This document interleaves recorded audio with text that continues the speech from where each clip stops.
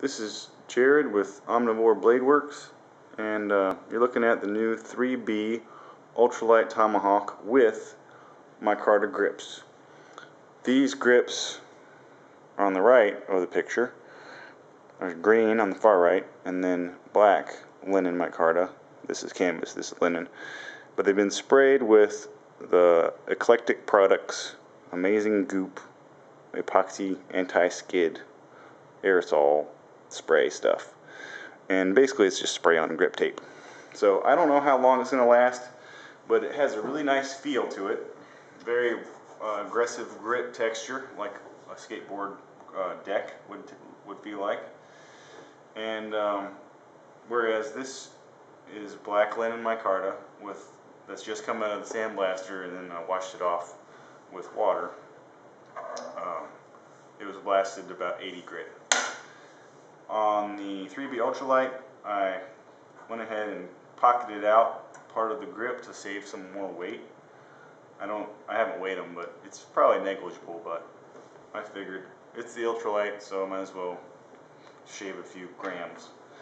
So that's, uh, maybe make it a little weaker if you bend it over your knee, but when it's attached to the tang of the tomahawk, and also if if it gets glued to the tang, then you get a lot more rigidity uh, with with grips versus without grips. Like if you, the normal way would be to have this wrapped with paracord. I'm guessing that most of you guys are going to probably just opt out of the paracord and go with the micarta grip because it feels pretty darn good and you can always wrap it with paracord later. I'm not going to press either issue, so it's up to you. Um, the way the handle mounts is with a uh, 3 6 uh, no, a 7 16 inch long barrel nut and two um, flathead screws.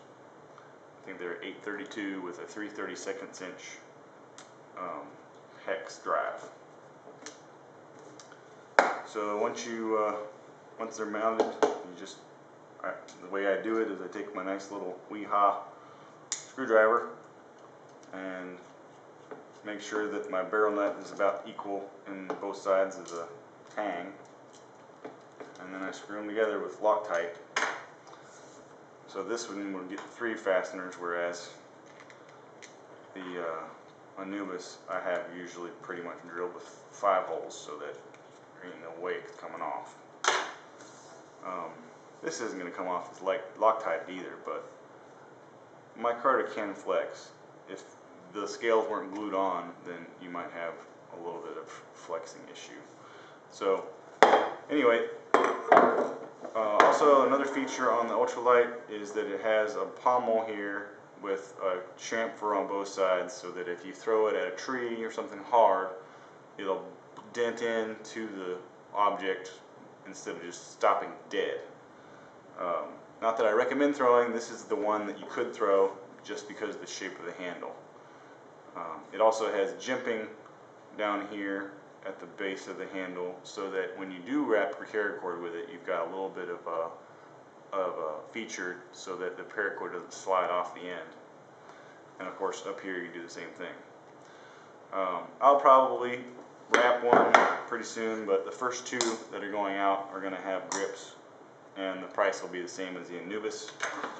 Same sheath, same head, everything's the same except for the profile of the handle down here.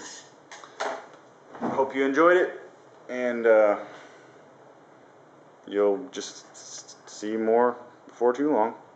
Over and out.